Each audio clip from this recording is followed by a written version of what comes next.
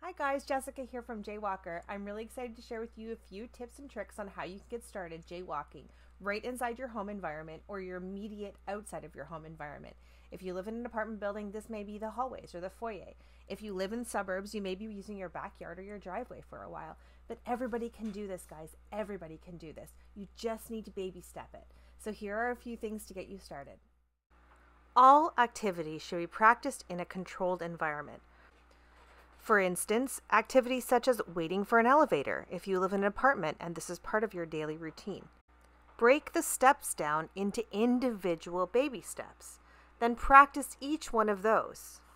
Here you can observe Bruiser learning how to respond to the elevator door opening. That's the first step of riding the elevator. Stop and step, legs together, reward.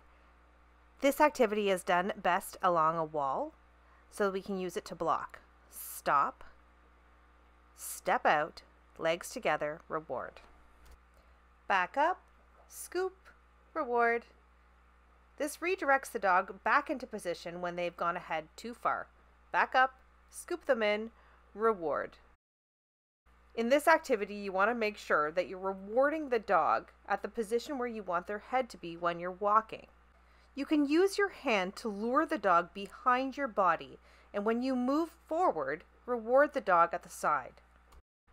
Pace changes are an excellent way to keep the dog focused and engaged when you're moving through space. Change between fast, slow, and stop. Sitting and giving eye contact is an excellent way to maintain focus and to see if your dog is engaged with you. Use verbal praise to maintain the behavior between giving treats. Watch for indications of calm. You don't want to reward tension or stress. Collecting the dog means walking in a circle towards them 360 degrees, meaning you end up where you started.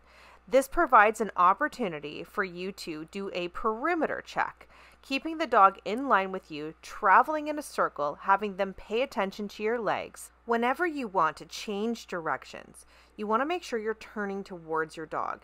It's excellent practice to do this along a wall. Turn towards your dog. Your dog has to shuffle out of the way and take that position beside you again. Turning towards your dog slows them down. Turning away from them speeds them up. Okay, guys, let's recap. Stop and step. Back up and scoop. Pace changes. Sit with eye contact collecting the dog, changing directions, and making sure you're practicing in a controlled environment. Start at a low level, move forward from there. You've got this.